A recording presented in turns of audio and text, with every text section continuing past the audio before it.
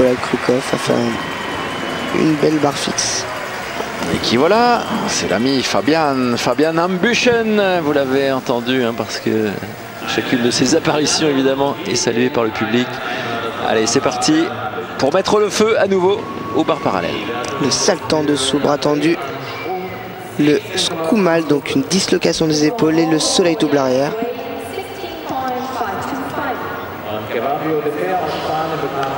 Le double arrière dans les barres, qu'on verra mieux peut-être au ralenti tout à l'heure. Le diamidov. Le petit pelt rattrapé jambe écartée avec un écu en force. Le heavy curl, beaucoup de difficultés très bien réalisées pour Fabian.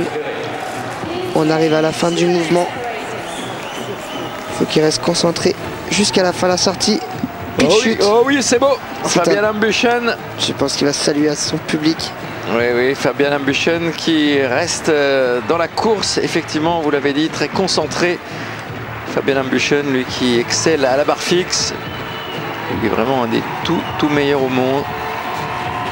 Mais au bar parallèle, ce n'est pas mal non plus.